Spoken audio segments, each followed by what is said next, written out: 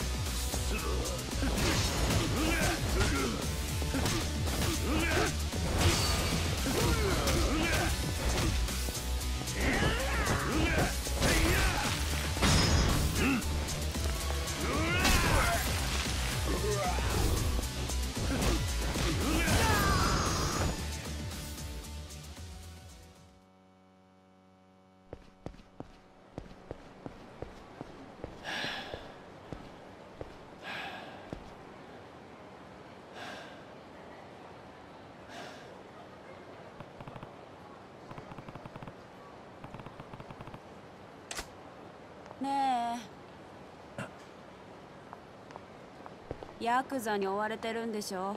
あんた。そんな風に街歩き回ってたらまたすぐ見つかっちゃうよ？あんたさえよかったらちょっとうちの店に寄ってかない？何？うちの店ちょっと作りが特殊でさ。裏から下水道に降りていけるの誰にも見られずにこの辺りから離れられる。なんで俺を助ける？あんたを追いかけてんのが堂島組だからいつも偉そうにしてさ。そいつら好きなやつなんてこの町にはいないよ。それに若いいい男がヤクザに消されるなんてもったいないしまあ他に当てがあるならいいけど。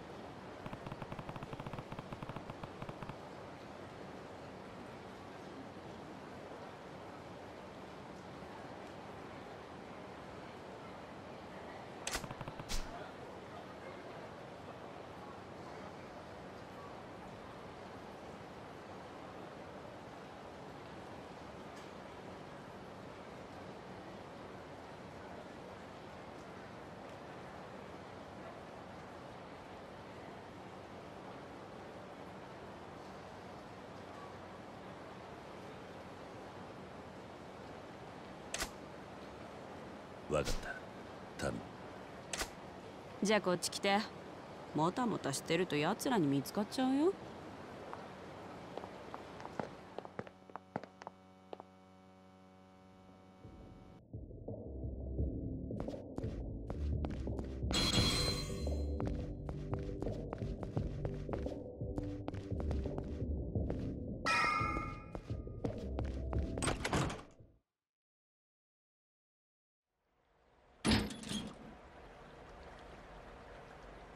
確かにあんたの店は変わってる。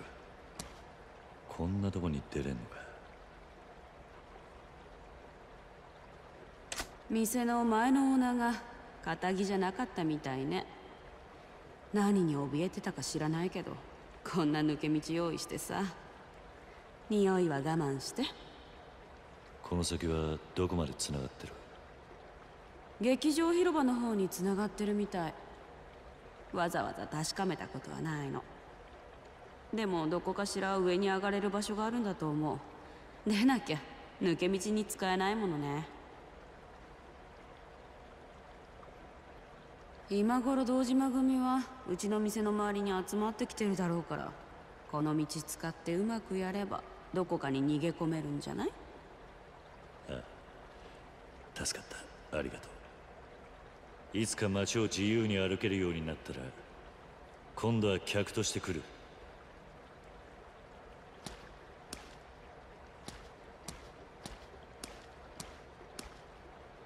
ごめんね。多分そんな日は来ない。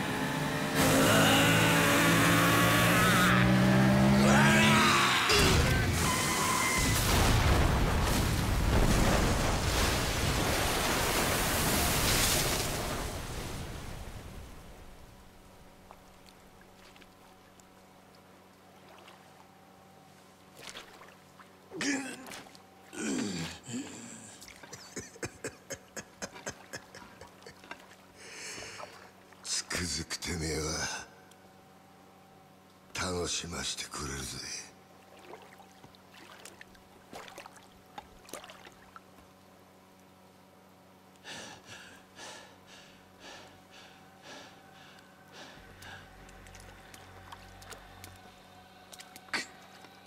くせ。さっき飲んだ。あんたが仕向けたのか。お前に一ついいことを教えといてやる極道ってのはなボクシングとは違え喧嘩に負けたやつが敗者になるんじゃねえ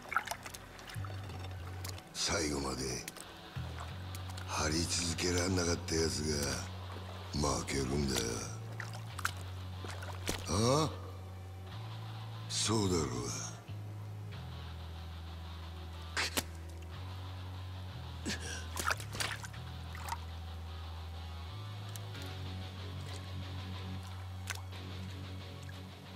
極道の世界に KO はねえ。俺はなキリ指の一本や二本なくそうが阿野や渋沢に頭取られようがそんなことは構えしねえんだ。命ある限り何度でも這い上がってやる。だからよてめえみたいな半端もんが一番許せねえんだよ。死ねやボケ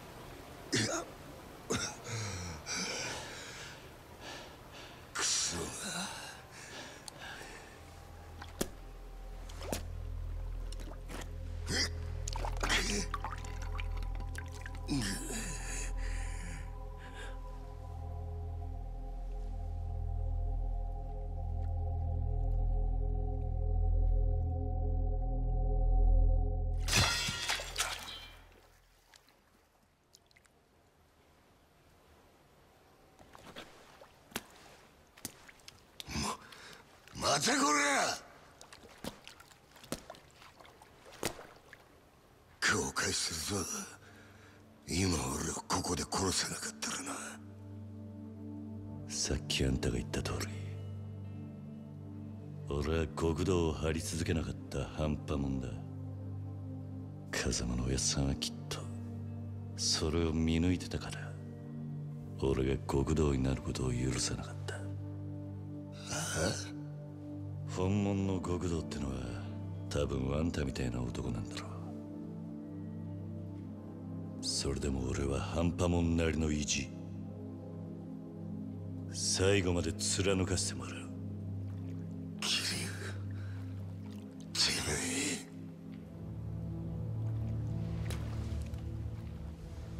あんたが何度俺の前に立ちふさがろうがな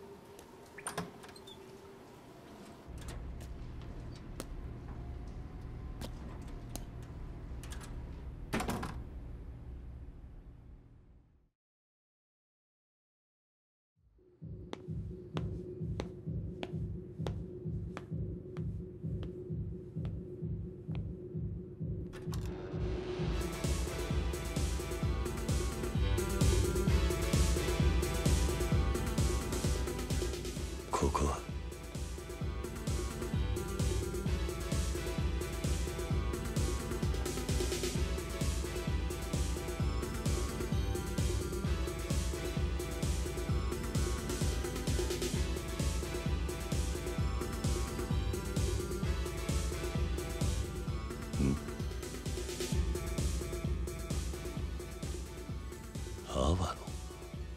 待ってたぜキリア。やっぱクゼナ兄貴はしくじったな。何をしてるんだあんた。見れやわかんだろ踊ってんだよ。なあ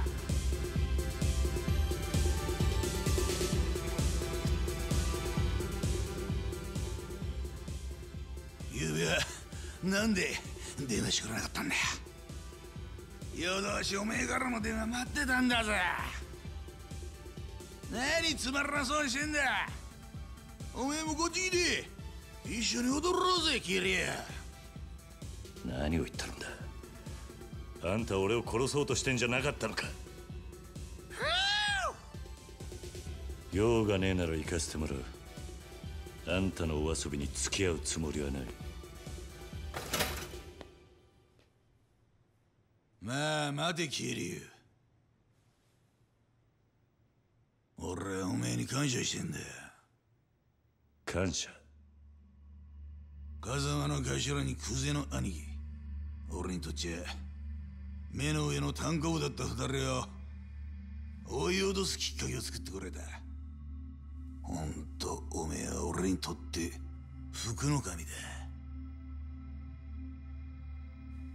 俺はなキリュウおめえを心の底から助けてやりたいと思ったら。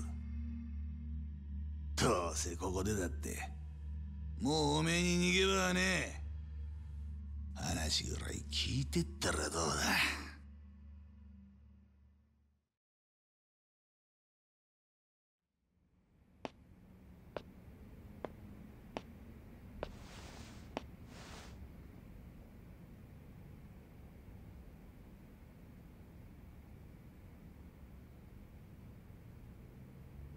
話ってのは何なんだ？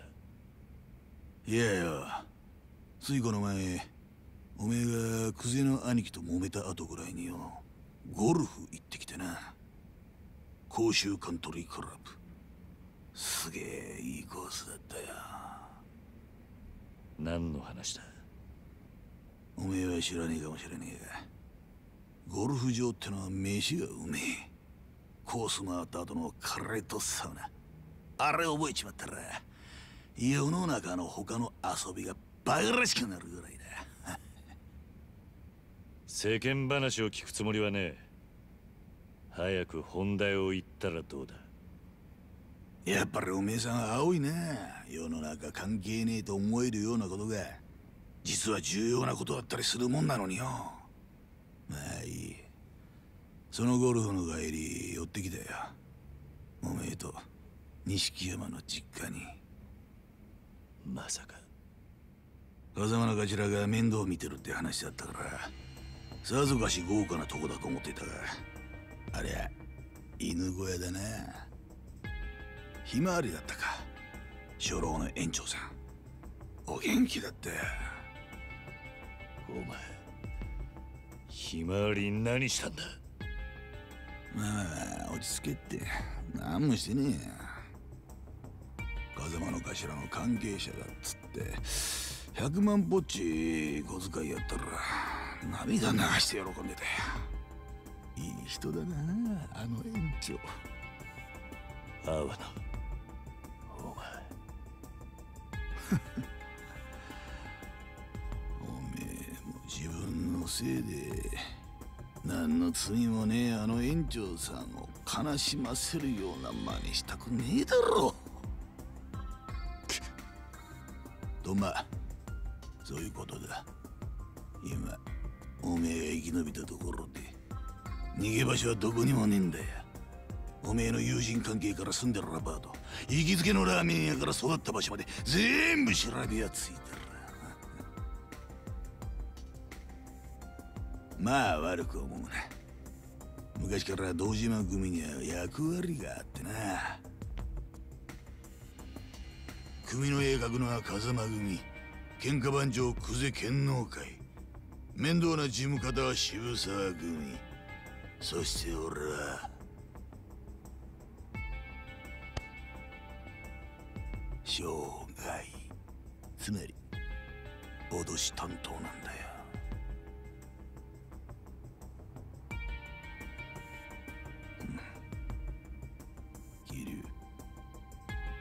俺はクゼとは違う。極道としての生き方なんざどうでもいいと思ってる。いい飯食っていいもん身につけていい車でぶっ飛ばす。たまには女もつまみ食いしながらな。俺にとっちゃ国道なんて職業はそういった人生を楽しむための手段に過ぎねえ。こっちに来いや桐生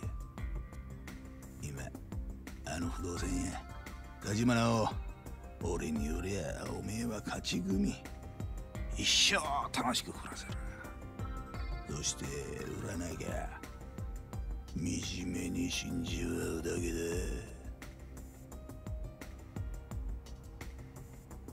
だ。あの犬小屋から錦山と一緒に必死に吐いてたばっかりなんだろうん？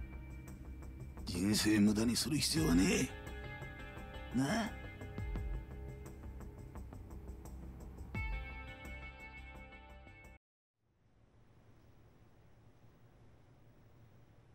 脅しってのはそれだけか。おめえ？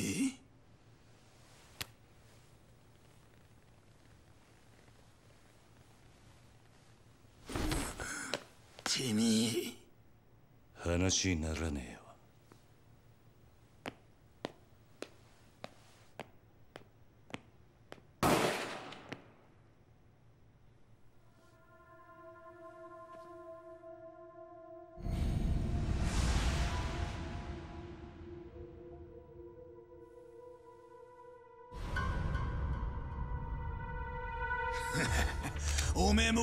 と同じになるぜ。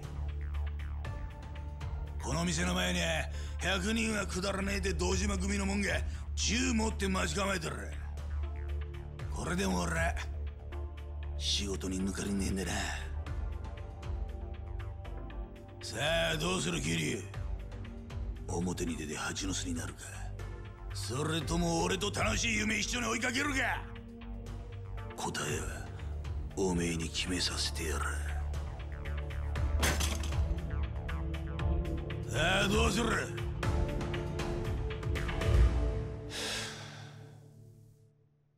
決まってんだろ俺は行く。何？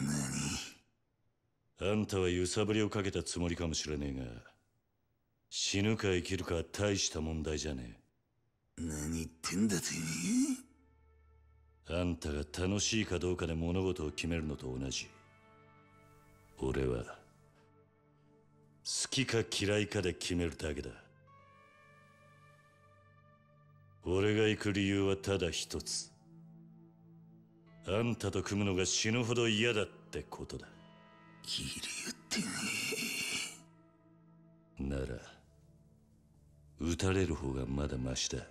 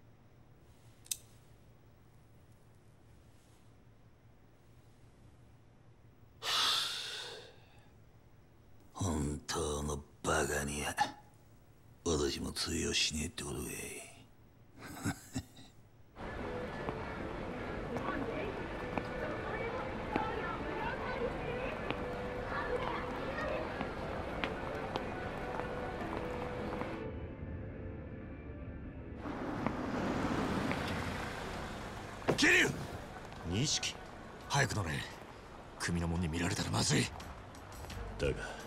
いいから。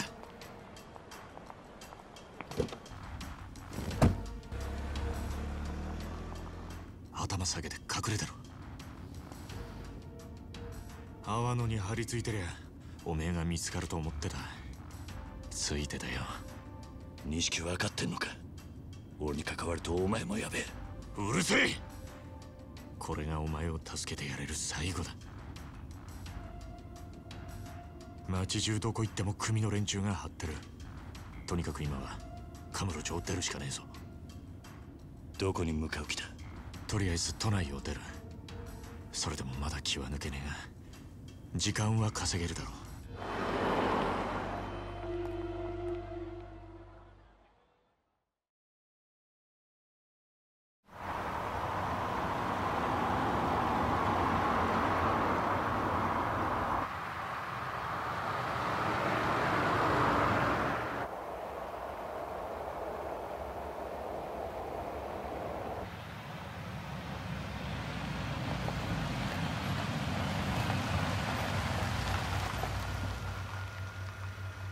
着いたぞ。桐生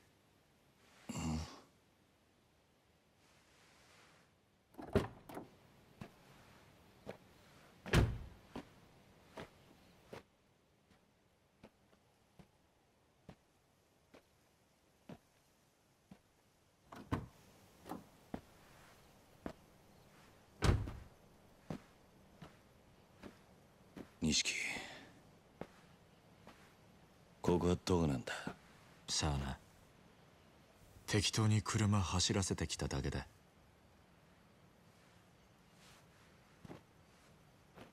やるかああ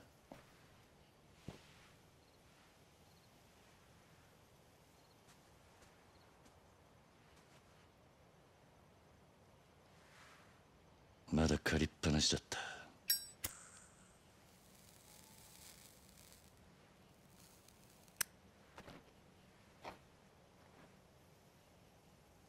やるよもう返せなんて言わね。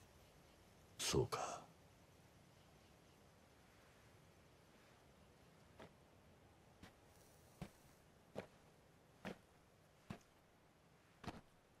よく味わって据えよ兄弟。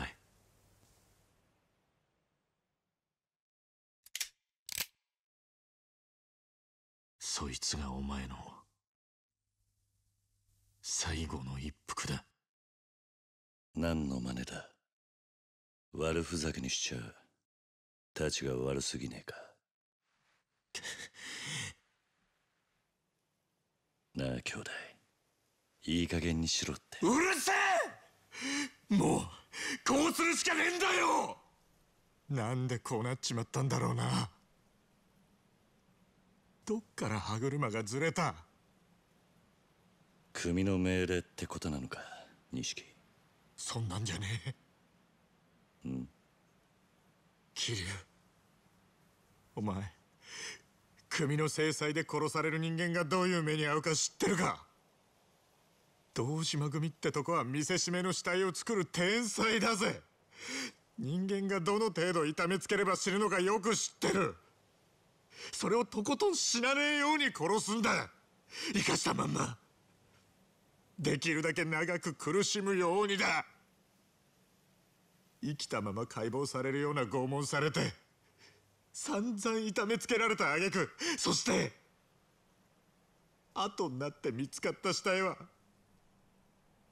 もう人間と呼べるようなもんじゃねえ。俺はな。桐生。兄弟として。おめえにそんな死に方させられねえよ！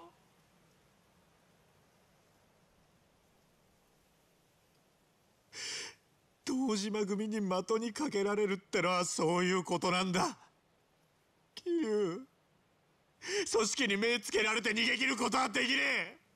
極道には時効もねえ。お前も分かってるはずだ！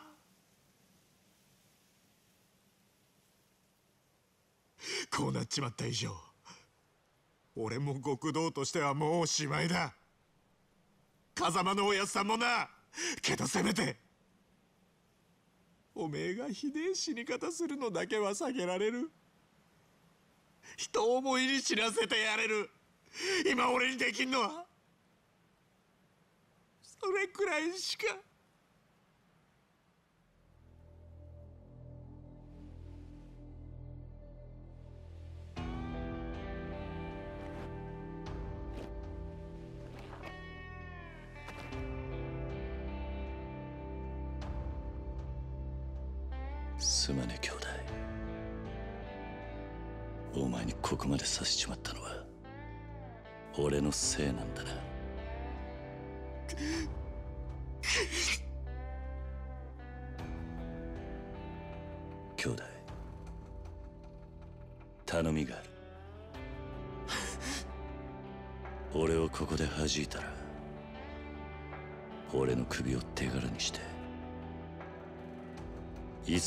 でてっぺん取ってくれ。約束してくれ。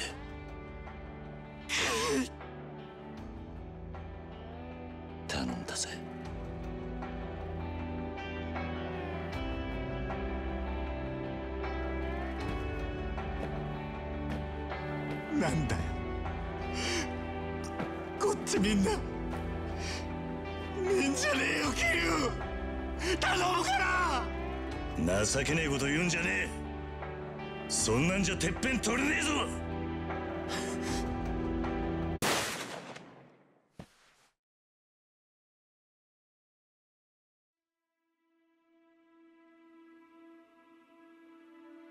どうした？しっかり狙えよ。まだ死んでねえぞ。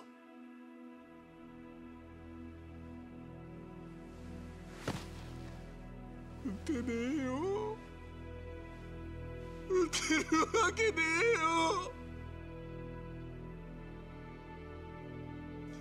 えよやっぱり俺はおめえと一緒じゃなきゃダメだ。極道として。俺なんか今まで生きてこられたのもおめえがそばにいたからだ。俺はおめえが一緒じゃなきゃ何やっても半端で意味がねえんだよ。俺だって。同じさ。お互いまだガキだってことだ。つまらねえ火種つけちまって世話になったおやっさんにも迷惑かけてそれで死んで片付けちまおうなんてよ。極道がどうとか言う前に結局俺は半端なガキでしかね俺だって人思いに死なせてやるなんて言い切ったくせにマジでダセえよ。だよな。でもいつまでもガキじゃいられねキリュウやっぱり二人で何とかして。え錦今日ここであったことは全部忘れろ。俺も忘れる。俺は行くぜ。どうする？つもりなんだ。カムロ町に戻る。俺にはまだやらなきゃならねえことがあるんだ。ダメだってキリュウ。おめえ本当に殺されちまうよ。いやお前にもらった命だ。これでどこまでやれんのか。この目で確かめてやる。キ錦まず俺からけじめつけさせてくれ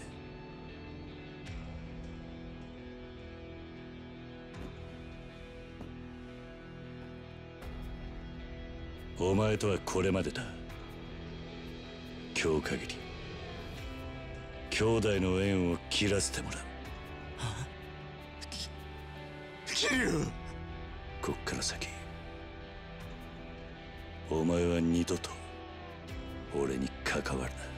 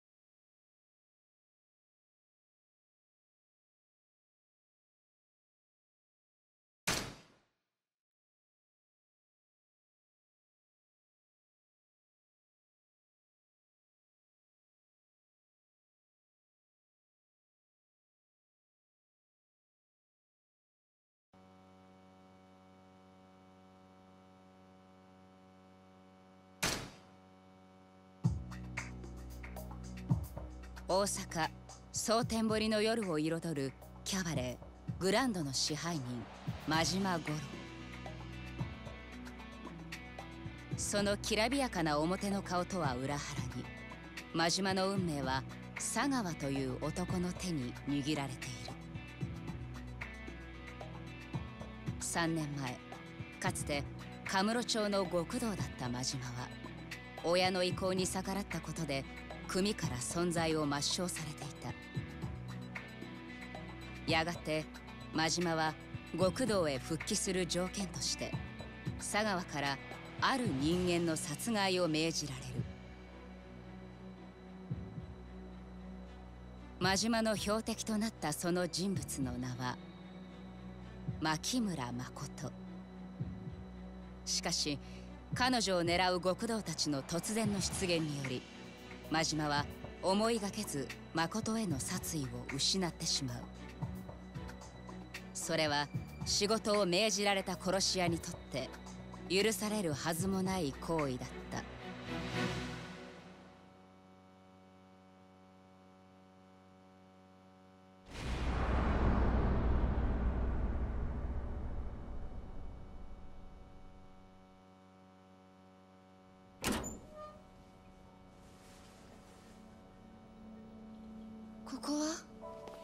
から入れ。ちょっと。座れ。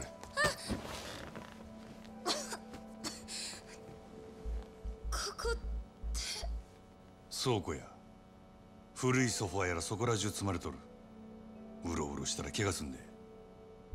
あの何があったんです？なんで私がこんなそりゃこっちのセリフや。ヤクザ連中が名指しでお前狙おうとる。心当たりないわけないやろ。そんなこと言われても。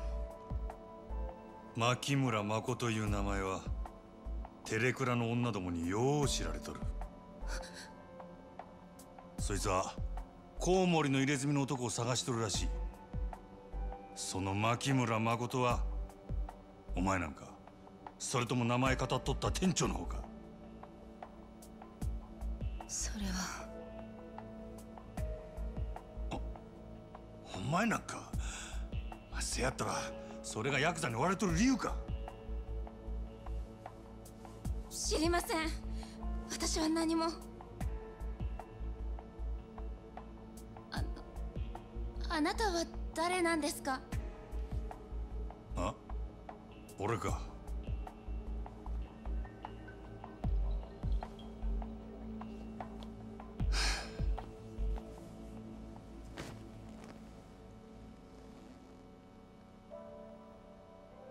しょうもない男や。人一人殺すこともできん。最低の。最低の？何？殺し屋や。嘘。牧村誠を殺せとだけ言われたんや。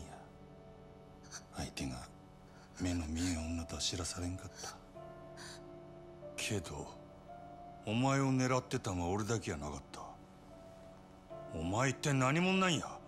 コウモリの入れ墨いうのは何や？なんでそいつを探っとった？リーさんはリーさんに合わせて。あの店長はお前さらいに来てヤクザに撃たれた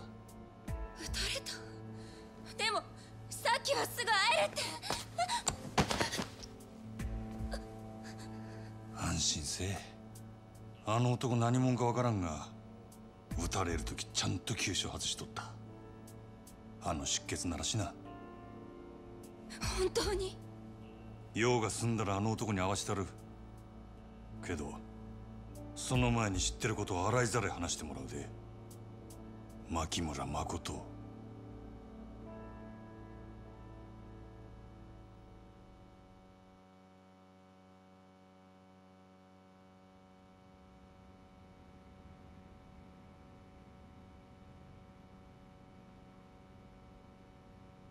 私を殺しに来たんならなんで助けたの？なんで殺さないの？お前は殺されたいんか？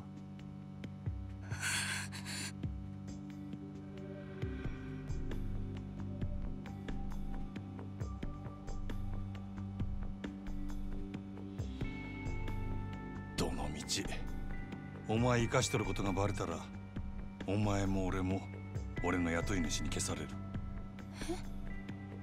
せやけどなんでお前が狙われとるかが分かれば少しはやりようがあるかもしれん。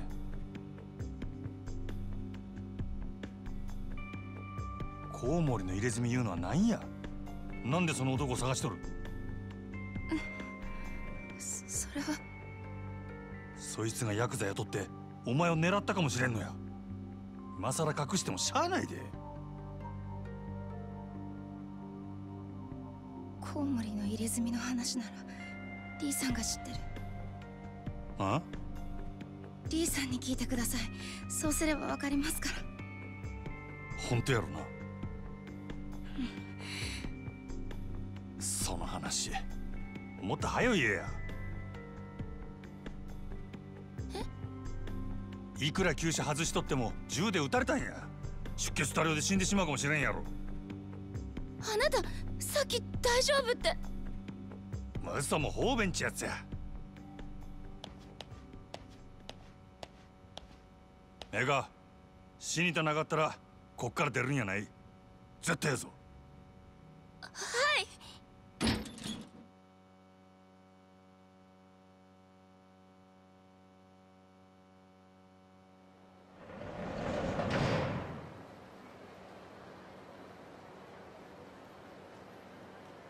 の一つくらい言うてったらどうや？山形。朝早くにすまんかったな。オデッセイでもほとんど使わん物置や。あんなんであんたに菓子作れんなら安いもんやで。けど女閉じ込めるために部屋貸せなんてあんたもええ趣味してんな。女のことは他言無用や大胆な男やなそんなもんライバル店の支配人に頼むことかいな。俺がこの秘密触れ回るとは思わんのか。このことがある筋に知れたら俺はこの町におれんようになる。もしそうなったらあんた困るやろ。あグランドとオデッセイっちゅう店が張り合うてこその蒼天堀や。どっちかの店だけになれば町自体の客足どんだけ減るやろな。野球と一緒や。一強だけのリーグ戦で客は呼べ。オデッセイだけで試合は盛り上がるんで。なるほど。さすがは夜の帝王っちゅうわけかい。わかった。あんたの秘密の趣味は俺の胸にしまっとくわ。せやけど貸しは貸しや。忘れんといてやああせや。真島藩ああんたキャバクラには行かはりますか？キャバクラ？ああ最近増えてきとるらしいの。グランドやオデッセイみたいなキャバレーとは少しちゃうらしいが。せや。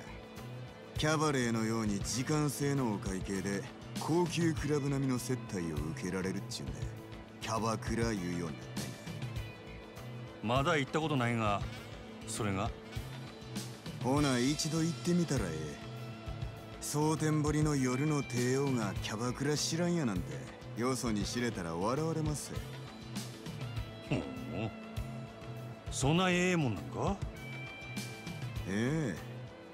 これからは間違いなくキャバクラの時代や。男も女も必ずキャバクラに流れるキャバレーは持ってあと数年ってとこやろな。そこまで言うんやったらあんたもキャバクラやったらええやないか。台所来るし言うてもそんくらいの金あるやろ。もうやったわ。けどあかんかった。何やと？まいっぺん見てきたらええ。あんたにもすぐにわかるはずや。キャバクラを制す者夜の街を制する。その言葉の意味。がなちーと喋りすぎましたわ。ほな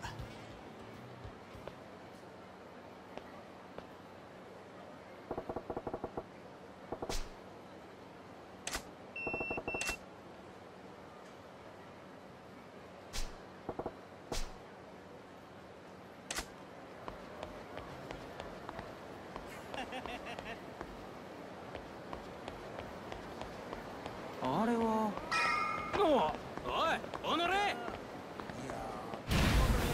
クソってたまらんねやるんかはい。